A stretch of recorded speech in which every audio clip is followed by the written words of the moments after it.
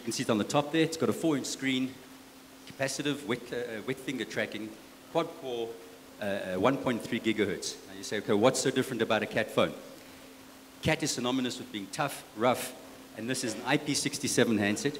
Okay, it's waterproof, it's dustproof, and it's shockproof. Can't do that with a Samsung. Okay, uh, unique features on it.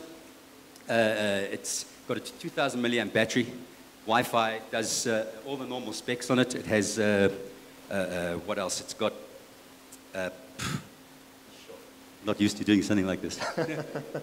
Stick with me. Just throw the phone again. Huh? Say again? Just throw the yeah, phone Yeah, no, no, that's the selling point.